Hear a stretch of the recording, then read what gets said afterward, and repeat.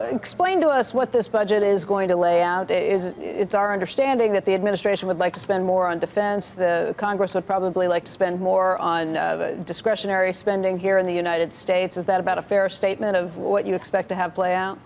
It's a fair statement. Look, we're $22 trillion in debt. We have trillion dollar deficits as far as the eye can see and we need to do something about it. This budget puts forward $2.7 trillion in spending reductions over the next 10 years and balances within 15 years. We think that's an important debate to have. Congress may resist it, but we also think that they uh, have an interest, and we hope they have an interest in, in uh, maintaining, in, in getting rid of the deficit, and that's the conversation we want to have with them going forward. Where are the spending cuts in your budget? The spending cuts over the in the budget are at the discretionary spending levels. All the agencies that you see around Washington D.C. They're in foreign aid. They're in uh, welfare reform. Uh, we are making reforms to, to student loans and federal retirement programs. Many of the reforms that we have are not what we would call a cut. M many of them are savings and reforms to make programs work better, make, make them more accountable, less wasteful, and we think that uh, there's going to be receptivity to those. A big item, though, is going to be defense spending. Uh, overseas contingency operations. Can you explain that to us in the budget? Because according to the 2011 law, we would see defense and discretionary spending at home both capped at, at levels, uh, I, I, think it's $576 billion for defense, 542 billion for domestic programs. Sure. The president, though, would like to see a lot more spent on defense. So how, how does this come into play? Sure. The budget proposes a 5% increase in defense up to $750 billion.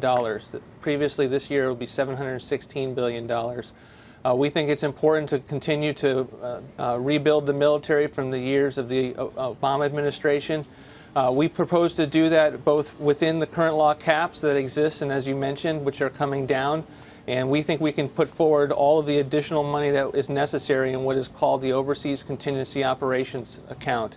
Uh, this is something in which we'll be very transparent about, uh, but it has, it has no cap to it, and it allows us to be able to uh, ask Congress to fund our priorities and consider the President's 5% cut to non-defense discretionary without a $300 billion cap deal to increase the, the caps that are in law that Congress often doesn't pay for and is, has really contributed to the, the, large deficits that we're seeing in the next 10 years. But Russ, you realize that budget watchdogs say that this is really just a backdoor way uh, of in increasing that spending without really tackling any of the problems.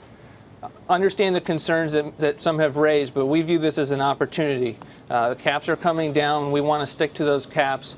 The overseas contingency account is something that is uncapped. It allows us to transparently move forward and rebuild the military and avoid a $350 billion cap deal that we cannot so afford you, as a you country. Don't, you don't want to stick to the caps when it comes to defense, just when it comes to domestic spending?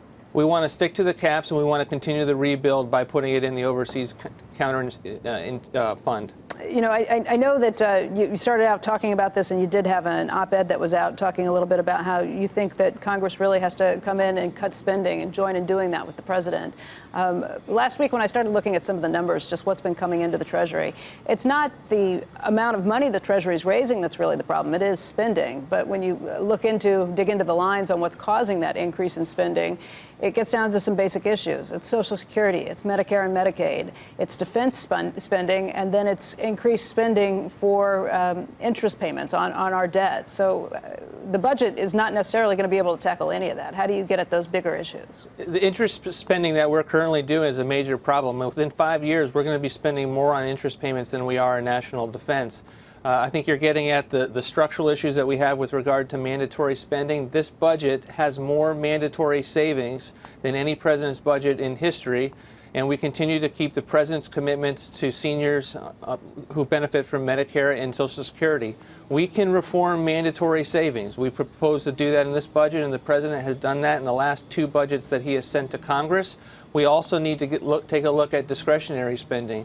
Too often, mandatory spending reforms has been used as an excuse to do the hard work of getting rid of reducing wasteful programs and discretionary spending, which is what Congress can control every single year with their votes, as opposed to it being on autopilot.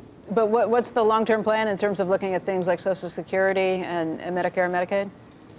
Again, this president has made commitments to the American people. We, in this budget, continue to put forth mandatory reforms that lower the costs in these programs by mm -hmm. having uh, reforms and uh, common sense proposals to make the programs work better at the same time as maintaining the president's commitment to those important programs. Uh, the early news reports have been that this budget today will ask for $8.6 uh, billion dollars in funding for the wall uh, with Mexico. Is that correct?